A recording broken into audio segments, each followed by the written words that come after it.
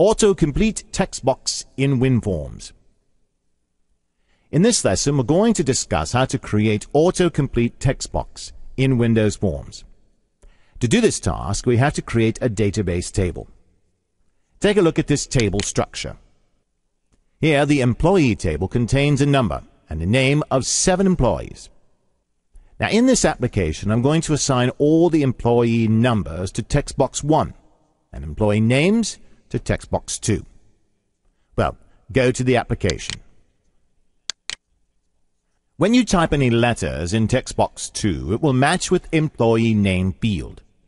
If any match is found, it will display all the names related to that specific letter. Well, double-click the form window to move to Code window. Add this code in page load event and see the logic. Autocomplete string collection class contains a collection of two strings used for the autocomplete feature on certain Windows Forms controls. Here we have to create two autocomplete string collection classes, NC and NC1, for two text box controls. These are the codes used to fetch the employee number and employee name.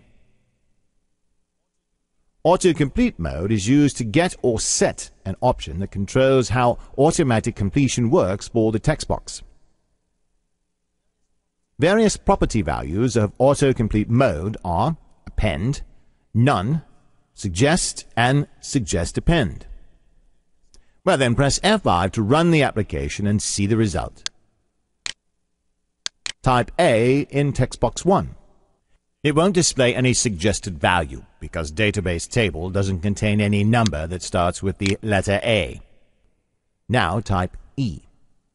See, now it's displaying suggested values from database. Similarly, type any letter in text box 2.